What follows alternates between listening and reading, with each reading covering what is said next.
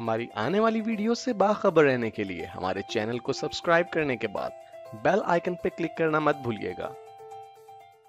बिस्मिल्लाहिर्रहमानिर्रहीम। Dear students welcome back to IT series tutor channel अपनी previous video में हमने वर्डप्रेस के इंस्टॉलेशन को कंप्लीट किया। आइए अब हम वर्डप्रेस को विज़िट करते हैं। वर्डप्रेस को विज़िट करने के लिए आप अपने ब्राउज़र में जाके सिंपली टाइप कीजिए local host slash WordPress और एंटर प्रेस कर दीजिए।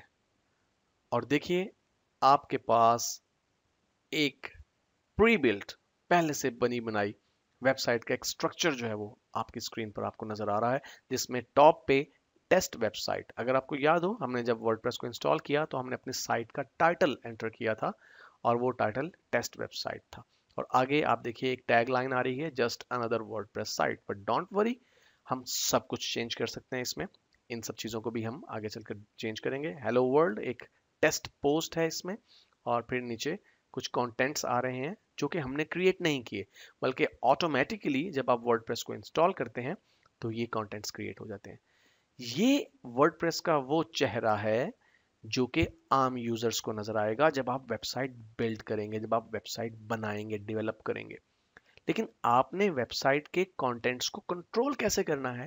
जैसा मैंने आपसे कहा था कि वर्डप्रेस एक कंटेंट मैनेजमेंट सिस्टम है तो इन कंटेंट्स को, इन, मसलन अगर मैं इसे चेंज करना चाहता हूँ हेलो वर्ल्ड के बजाय इसका नाम कुछ और रखना चाहता हूँ, या मैं इसका कलर चेंज करना चाहता हूँ, या यहाँ पे मजीद टेक्स्ट ऐड करना चाहता हूँ तो मुझे क्या करना होगा? तो आपको करना ये है कि आपने अपने डैशबोर्ड को एक्सेस करना है। और डैशबोर्ड को एक्सेस करने के लिए आप, जो पाथ आपने लिखा है लोकल होस्ट स्लैश वर्ड उससे आगे आप ऐड करेंगे स्लैश और फिर लिखेंगे डब्ल्यू पी डैश एडमिन आप डब्ल्यू पी लॉगिन भी लिख सकते हैं डब्ल्यू पी डैश एडमिन भी लिख सकते हैं। ये ऑटोमेटिकली आपको रीडायरेक्ट कर देगा डब्ल्यू पी लॉगिन के ऊपर। और यहाँ पर देखिए, हमारे पास यूज़र नेम और पासवर्ड आ रहा है। अगर आपको याद हो, हमने यूज़र नेम रखा था सुपर यूज़र और मेरे ब्राउज़र ने इस पासवर्ड को सेव कर लिया था, इसलिए ये इसमें ऑटोमेटिकली फिल हो गया। मैं रिमेंबर मी के इस चेक बॉक्स को सिलेक्ट कर देता हूँ, ताकि बाद में जब मैं डैशबोर्ड को एक्सेस करना चाहूँ तो मुझे बार बार इस प्रोसेस से ना गुजरना पड़े और मैं इस लॉगिन के ऑप्शन पे क्लिक करता हूँ। जो ही मैंने लॉगिन के ऑप्शन पे क्लिक किया, देखिए हमारे पास एक डैशबोर्ड आ गया।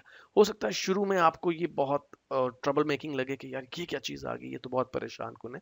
लेकिन बिलीव मी आने वाले चंद दिनों के अंदर आप इतने यूज़ टू हो जाएँगे और समझ जाएँगे कि इतने अच्छे तरीके से इसका स्ट्रक्चर डेवलप किया गया है, इतना आसान है इसे एक्सेस करना, इसे यूज़ करना कि आप चंद दिनों में इसके आदि हो जाएँगे।